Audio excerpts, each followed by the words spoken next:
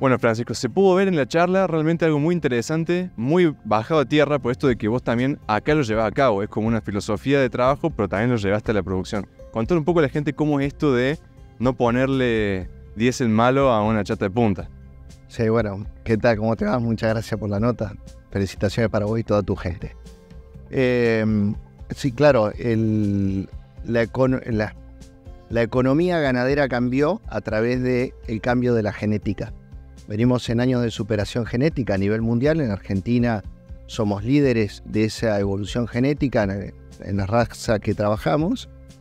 Y por lo tanto, ese cambio genético fue seleccionado de animales superiores que seguramente recibieron una alimentación superior, a partir del cual de ellos extraemos las gametas, espermatozoides u óvulos, y generamos esos nuevos eh, bovinos. Esos bovinos vienen con una carga genética superior, que requieren nutrientes superiores. Entonces no podemos pretender eh, cargarle el combustible común a una camioneta de nueva generación. Que eso se lo agradezco al Coco Mattioli, que fue quien me prestó esa, esa diapositiva. ¿Qué es el error que vos ves que se comete normalmente y que no se llega a expresar esa genética? Sí, eh, está bueno. El, ambiente llamando alimentación, manejo, gente, clima, eh, medio ambiente y demás. Eh, sí, yo creo que más que un error, es una necesidad de cambio cultural. Eh, adaptando a esta, nueva, a esta nueva genética, a estos nuevos eh, regímenes nutricionales, creo que se deben escribir algunos libros nuevos sobre requerimiento de genética superior en campos no de pampa húmeda, a, donde nos toca desempeñarnos a nosotros.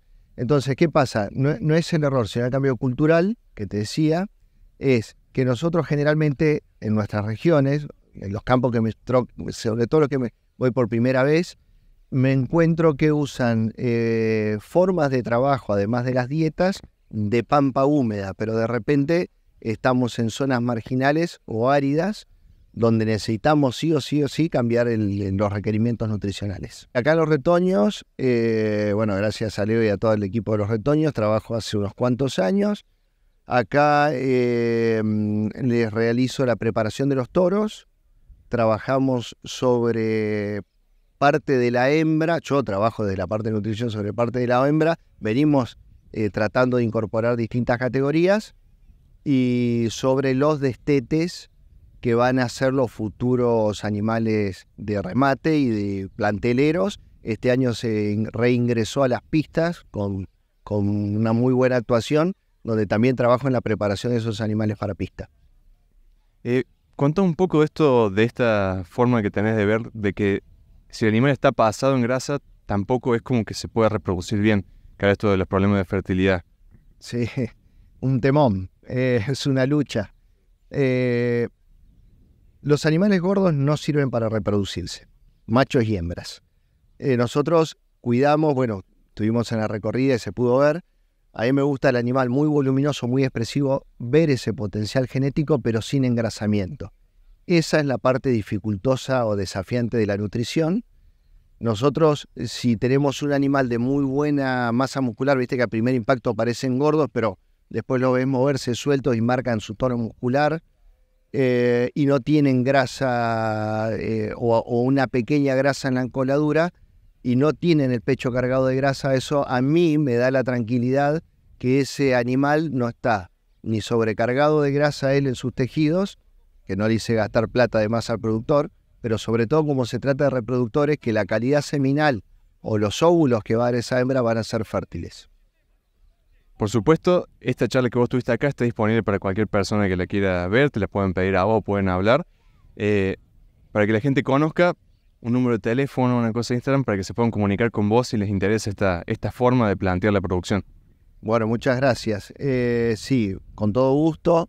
Es un placer poder compartir y colaborar en, los resultados ganaderos de nuestro país.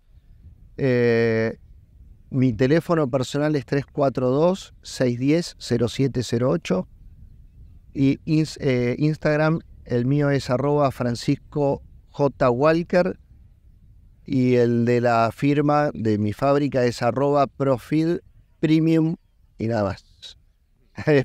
arroba profil premium.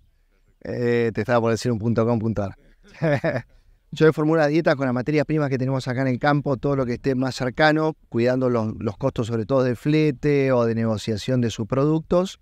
Eh, en mi fábrica les, preparo las premezclas que están diseñadas para estos animales, para este campo, para este clima, para este ambiente y con esta calidad de agua de bebida, que si bien no tienen tantas sales, las aguas de acá están alrededor de un gramo o 1,2 gramos, tienen muy altos sulfatos que eso nos genera una carencia secundaria de cobre, que se pudo ver en algunos animales que todavía no están comiendo ración, cómo queda ese pelo cobrizo. Entonces, el cobre participa en más de 2.000 procesos metabólicos. Entonces, sabiendo eso, sí o sí tenemos que ajustar las cosas a medida de acá para que los resultados puedan ser los potenciales y esos aumentos de peso con animales tan sanos y tan saludables.